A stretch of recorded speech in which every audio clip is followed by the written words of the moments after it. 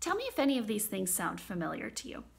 You strive to be a relaxed and trusting parent who grants their children the freedom to run around and explore the outdoors.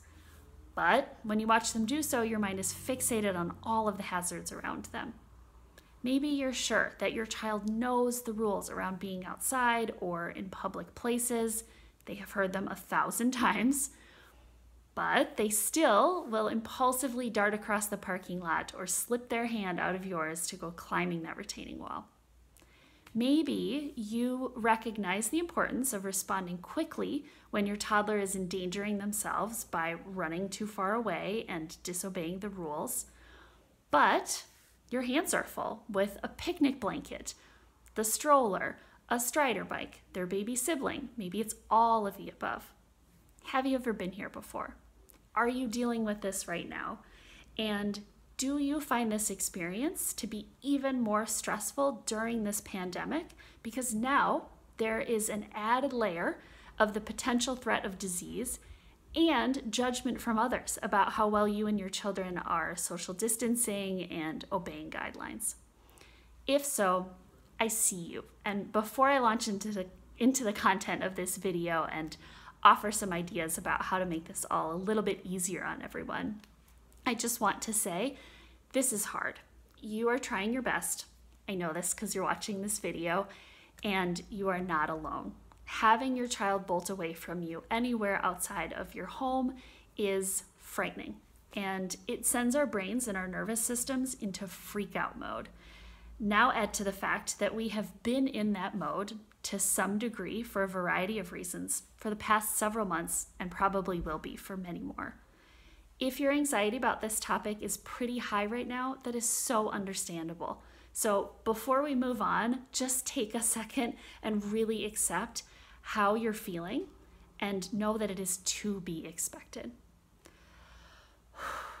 okay, so these are some of the questions that you might be grappling with when it comes to your child darting away from you.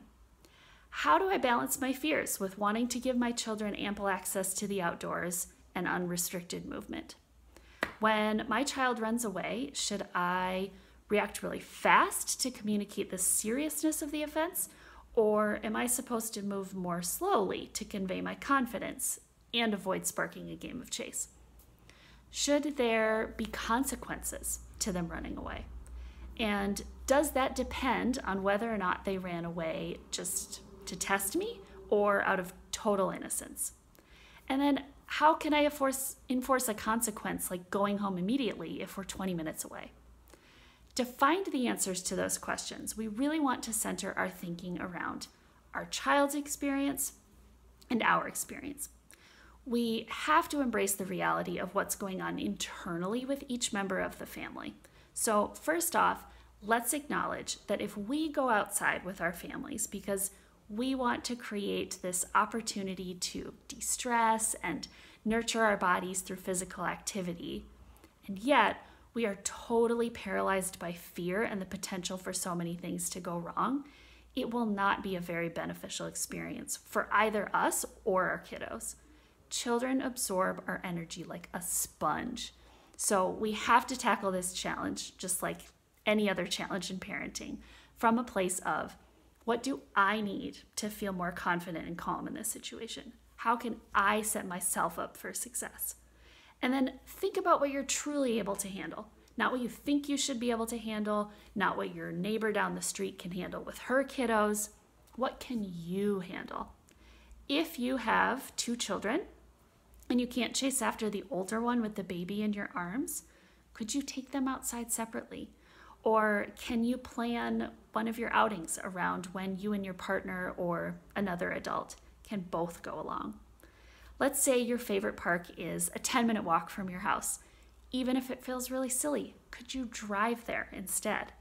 Or if your neighborhood park is one with a lot of exposed sides, do some research and ask around for recommendation of a park that is much more protected and would allow you to relax a bit more. If you are going to walk, require, requiring your older child to ride in a stroller for the commute is a very good solution. And then, even if you just have the rule of holding hands while you walk, Make it non negotiable and then really be ready to welcome your child's objections and strong feelings. We always have the ability to acknowledge their point of view while still holding confidently to our boundaries. You might say something like, I know you're really upset because you want to run ahead, and I hear that, but I'm going to keep holding your hand so that we are safe until we get to the playground. And then, lastly, if social distancing is a real struggle for your kiddo, traveling to a park that's farther away and much quieter is probably your best bet.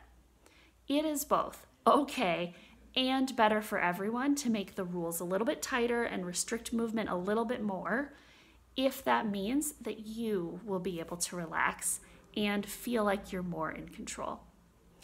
Think about what you need to feel okay and make that a priority. Because when it comes down to it, we can really only expect so much from our young children in terms of managing their own movement. If they are running away a lot, rather than comparing them to the other children, their age, and wondering why they can't behave as well, or questioning if one more stern talking to about the rules would really do the trick. Just accept this is where my kids are at, at least for right now. If they can't stop themselves, they can't stop themselves. So, really work with what you've got. And that may even mean investing in a play structure for your backyard so that you're just leaving your property less often. And then this brings me to your child's side of the experience. Let's sort of unpack that and see what solutions surface. The first time your child darts across a busy parking lot and out of your line of sight, it's usually quite innocent. They've probably spotted something far away that has really intrigued them, or maybe they just got this impulse to see how far and how fast their body could take them. And this could honestly still be the primary reason that they're running away. Young children don't yet have the capacity to understand all of the dangers and control all of their impulses, so it's just not something we can expect of them. No matter how well they know the rules, even if you've talked about the dangers before, their brain is just not developed and integrated enough to really make rational and safe decisions all of the time. So, therefore, we have to put boundaries in place. And doing so is actually a really loving and compassionate gesture of care because we empathize with them and we understand exactly what they're capable of. So, think is it insulting to put a baby gate at the top of your stairs or install socket protectors when you have an infant at home? No way, right? It's exactly what they deserve from their leaders. And the same can go for having your four year old ride in a stroller if they tend to sprint away while you're walking. Now, it's not uncommon for this innocent dashing to turn into a more patterned testing behavior. Typically, when children run away from us, we react in a big way, and that's to be expected because it's a genuinely scary event. But that sort of response can, from us can be really intriguing to a child, and they might begin to run away more frequently just to test us. So remember, if this happens, it is not naughty behavior. It isn't spiteful, retaliatory, terrible, mean, devious. It's literally a test, just like a scientist would perform. If I do, fill in the blank, will it always result in this reaction? This is the job of a young child test, test, test, gain understanding. So, if we can perceive their behavior for what it really is, this testing, we can respond calmly and consistently. If it's a really dangerous situation, be swift and strong, but not angry. You know, run over, stop your child, confidently lead them back to their stroller, and you can just explain in a matter of fact way, we're going to head home now. Think of this response not so much as a punishment, but just as a totally natural consequence, right? You don't want to be chasing after them anymore. They've shown you that they're in the mood to run away. So, yeah, seems like a really good time to go home. If the situation is a little bit less dangerous and you really just want them closer to you when you're out at the park, let's say, you can stroll over to them at a regular pace, get to where they are. You really want to take the power out of the behavior so that they don't have a need to test you again. Once you get to them, assuming that you've already explained the ground rules and they know that they're breaking them, there's no need to add any additional conversation around what just happened. Just hold their hand, walk them back. Remember, they know the rules, and this is not why they're doing this. they're testing us. So, along these lines, you do want to set everyone up for success when you go out and about with your family. You want to make sure everyone's on the same page of the rule book. So, when you're going somewhere, give a brief but really clear overview of all of the expectations and focus on what you what you want your child to do rather than what you don't want them to do or what they'll get in trouble for. So saying something like be a good boy and don't run away is both negative and it's really ambiguous. So I would instead lean towards something like we're headed out to the Mississippi for a trail walk. You're going to ride in your stroller until we reach the start of the trailhead and then I will take you out and you can run along the trail, never into the woods or out of the dirt path but just make sure that you're always in a place where you can see me and I can see you. Make sure that you leave no room for interpretation. And if your child's old enough to do so, you can also have them repeat those rules back to you once you arrive at your destination or you start your time outside. Two more things. One, start to pay attention to your child's focus when you're outside.